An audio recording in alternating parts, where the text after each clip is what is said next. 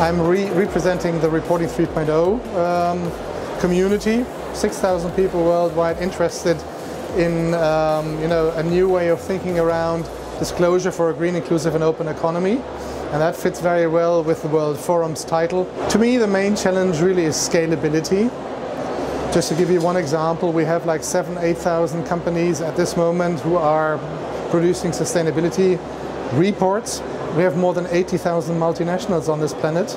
And that does even count in all the you know, millions and millions of smaller and medium-sized enterprises who are totally absent from that world. So the question is, how can we, you know, with all the organizations that are doing a lot in sustainability, how can we reach a level of scalability so that all the others become followers? That's my biggest problem.